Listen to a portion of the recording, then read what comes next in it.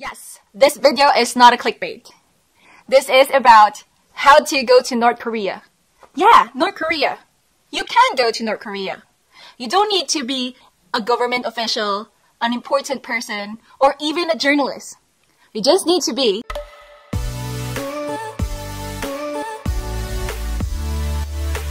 Hey guys, what's up? My name is Char and welcome back to my channel! So today's video is all about how to go to North Korea and then I'm gonna share some tips along the way and I'm gonna tell you the do's and don'ts in North Korea.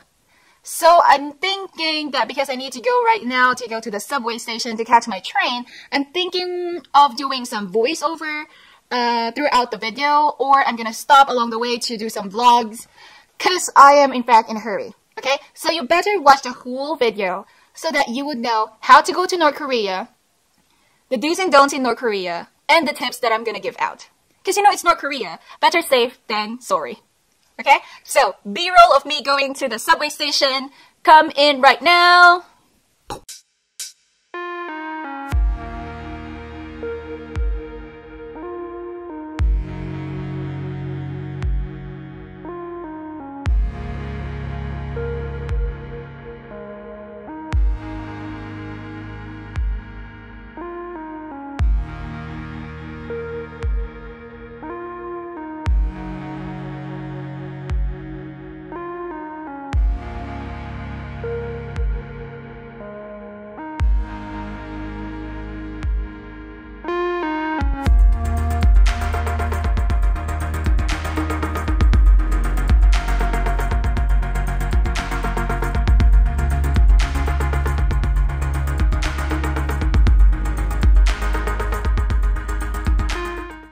我这租车我实在租不着了，我我非得逼着上上那找他去。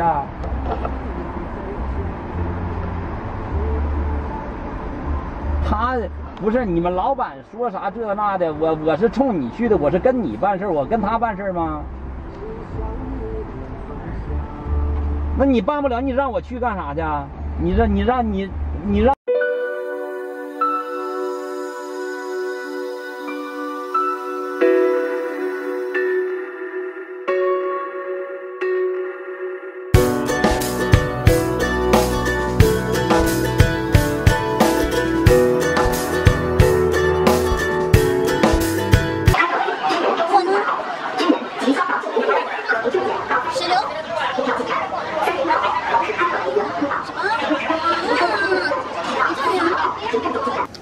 Finished getting our tickets and I'm in a place that I think it's the best place to do this vlog because it is quiet. I'm gonna try to edit out the noise as much as possible that I can. And we're just waiting for the boarding time, so let's dive in. So I think the first question should be how to go to North Korea. Like I said in the beginning of the video, you don't need to be a somebody to go to North Korea, but you do need to be a part of a tour group. It is not possible for you to travel to North Korea by yourself. Where can you find tour groups? You might ask me. Well, you can just go to www.google.com. Yes, you heard it right. That's google.com. Just search tour groups to North Korea and tons of search results will pop out. So I done my research a few months ago, even before this trip. I can categorize two types of tour groups.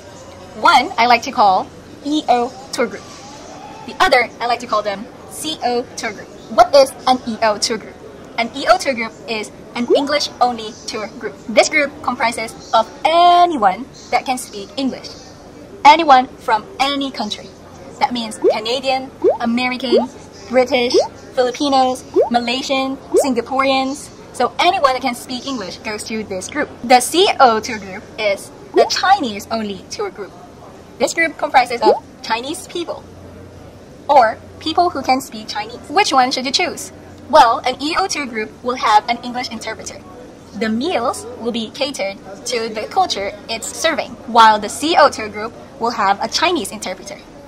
Meals will also be catered to the culture it is serving, but it is much cheaper. You heard me right.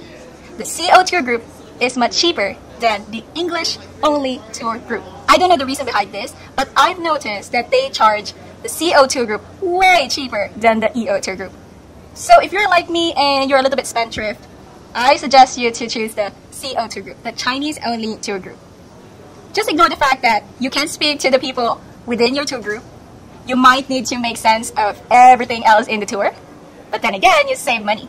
Once you have decided which tour group you would like to join, you then need to apply for a multiple entry Chinese visa. This is important. Let me repeat it again. You need to apply for a multiple entry Chinese visa and not a single entry Chinese visa. The way you go to North Korea will be the same way you get out of North Korea. You won't have enough time to apply for a 72 hour visa or a transit visa. China? You mean I need to go to China to go to North Korea? Yes, that is the only way to go to North Korea. So the multiple entry visa is really important. Most travel agencies will ask you to come to Beijing on your own, then they will fly you to Dandong, which is more expensive. I suggest you to tell them that you will meet them in Dandong instead. Then you go to Dandong by yourself by train. Cause it's way cheaper. But it does take more time. The train ride to Dandong is about 13 hours. That's what, what I'm doing here at the train station. I am going to Dandong by train. Like I said, I am a spendthrift. So if it's cheap, count me in. And I'm okay with that. It saved me money and it gave me content for my last vlog, which is how to survive a long trip, carry on bag essentials. So if you want to check that out, I'm gonna link it right up here and link it in the description below. Second question. What do I need for the North Korea visa and how long should I apply in advance? You just need to provide your travel agency with a scanned copy of your passport and a JPG copy of your picture. And then they will process it by themselves. The visa, which is a piece of paper with your name and picture on it, it will not be stuck on your passport. It will be given to you at the time you meet your tour guide, either in Beijing or in Dandong. My travel agency was actually very quick. They processed our visa two weeks before our trip. But then it depends on which travel agency you go with. Third question. Will you need to hand over your passport at any given time? Yes. They will collect your passport at the border. Don't worry, they will return your passport. They will return it at the time of your departure. The time you're leaving North Korea, you will get your passport back. Fourth question. Do I need to exchange money? And if yes, where should I do it? North Korea accepts all currencies and will give change in the same currency. I think Okay, we need, I actually need to go. My boyfriend is actually calling me. I think that's everything that you need to know about how to go to North Korea. Later on, I'm gonna meet my tour guide and I'm gonna ask her the do's and don'ts in North Korea. So please don't leave the video, okay? B-roll of me meeting my tour guide. Three, two, one.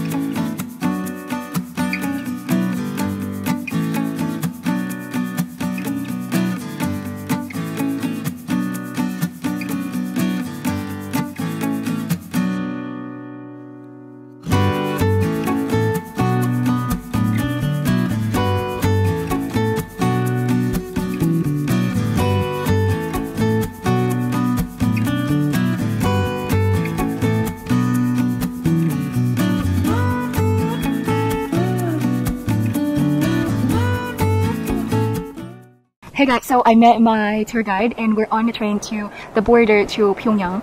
Um, I cannot vlog that loud because a lot of the people here on the train, they're already sleeping or they're already resting. So I need to be a little bit quiet, okay? I'm gonna tell you guys the do's and don'ts in North Korea like my tour guide said, okay? So number one is you can bring a camera with you, take pictures, take videos of anything you like as long as it's not a professional camera. And don't take inappropriate pictures of the statues of their leaders or any military personnel and operation. Number two, um, you can bring in food, fruits, bread with you to North Korea, but then you cannot bring it back. Like my tour guide said, she thinks this is not a North Korea's policy, but then it's China's policy. So I suggest you guys to bring lots of food with you before you leave Dandong. Number three is that you must follow your tour guide every time. You cannot go roam around and explore North Korea by yourself. If you want to go jogging and go somewhere after the tour, you must tell your tour guide. Then they will accompany you. Number four, you can bring your laptop with you, but not a flash drive. Any flash drive with pornographic materials will cause problems. I don't know what's the consequences, but yeah. And I also asked my tour guide if the North Koreans, like guards, uh, military personnel, do they really check the cameras? Um, she said that they don't really check cameras, but they would like to be informed if you have a camera or a phone. I think that's it. So I'm actually going to sleep as well because I am very tired. Going to Dandong is 13 hours and this entire video I just finished 13 hours. Okay, so I'm going to go to sleep and remove my makeup. By the way, I am going to post my travel to North Korea.